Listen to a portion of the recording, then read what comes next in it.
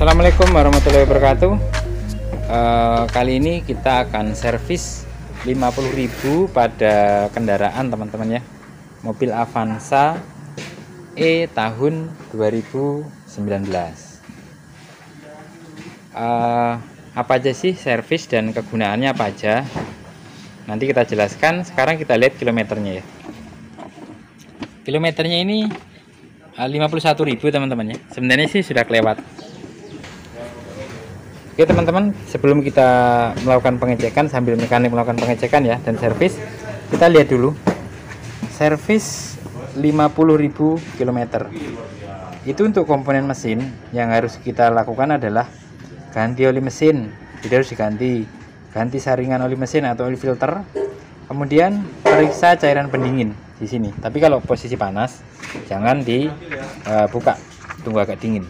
Sama yang di situ ya di reservoirnya kemudian periksa busi-busi ini untuk Agia 1000 dan Etios. Periksa busi eh, periksa baterai. Jadi baterai ini ya yang kita periksa itu dari mulai kekencangan kemudian apakah kotor. Kalau kotor dibersihkan siram air panas misalnya korosif ya. Kemudian air aki jangan lupa di positif juga dipastikan uh, kencang ini kencang dan bersih. Kemudian pengikat-pengikatnya ini ya pengikat sini pengikat situ bracketnya ini juga jangan jangan goyang dan jangan terlalu keras. Itu pasangnya teman-teman ya. Kemudian kalau kita ngisi air aki terus ada yang tumpah-tumpah disiram juga dengan air biasa. Biar nggak korosif. Kemudian periksa saringan pembersih udara. Saringan udara yang di sini teman-teman ya itu diperiksa. Kalau memang kondisi jalan berat ya diganti. Uh, kalau rusak parah ya. Sebenarnya ada juga pemeriksaan COHC ya. Ada gas buang saat idle tapi e, karena nggak ada alatnya nggak dilakukan. Kemudian pemeriksaan pedal kopling.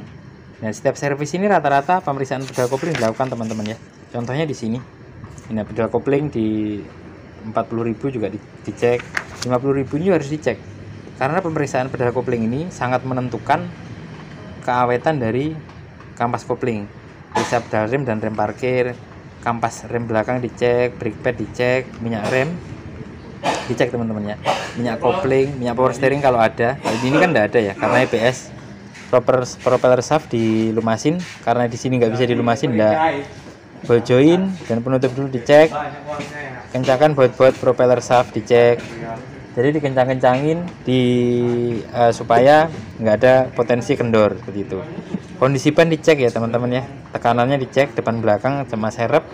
Ban dirotasi dan dibalancing supaya setirnya enak nggak getar periksa lampu-lampu klakson wiper washer kencangkan mur dan baut-baut pada sasis body nah e, kalau pengencangan mur pada baut body itu dari mulai dudukan sok dudukan e, apa namanya lower arm, ball joint, semuanya kita cek teman-teman ya. Kita periksa apakah ada potensi kekendoran.